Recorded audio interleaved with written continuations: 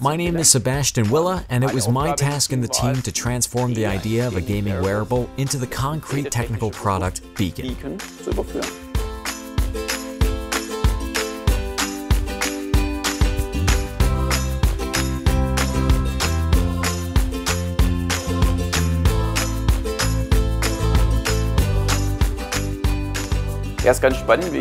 Yes, it's quite exciting how I came to the Bcon, how I became part of the team. Peter and Karsten came to me and had an idea for a gaming wearable. At the beginning, it didn't speak much to me, but after an intro, I was rather quickly all geared up. Also, because I found it to be quite a technical challenge how that could be realized.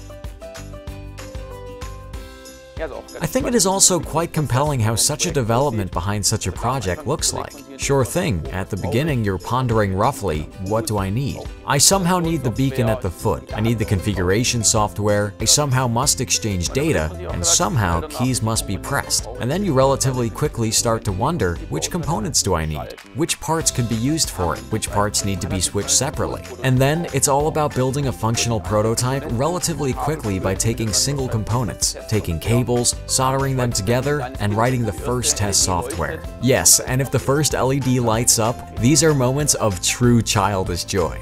Well, we had two big challenges.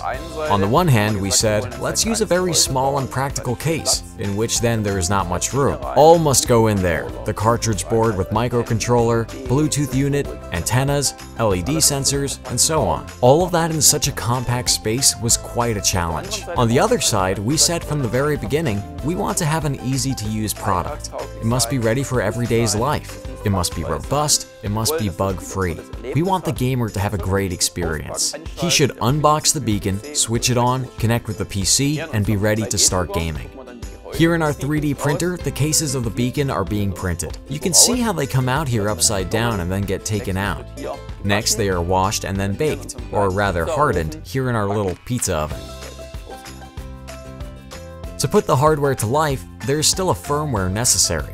A piece of software which represents the intelligence on the Bcon. It recognizes the position I am in at the moment. Should I send a press a key? Yes or no? The other side is a software sitting on the PC. The config software, which correspondingly coordinates the communication, sets the key mappings, and which can store the configuration and read out the battery status, etc. Then, there naturally always is the question, when is such a product development finished? Actually, it never is. Because we always have new ideas, and we are also looking forward to the community, which always brings new input and new ideas. So, we are simply excited how it will all play out. Who knows which sorts of further gaming wearables will come in the future?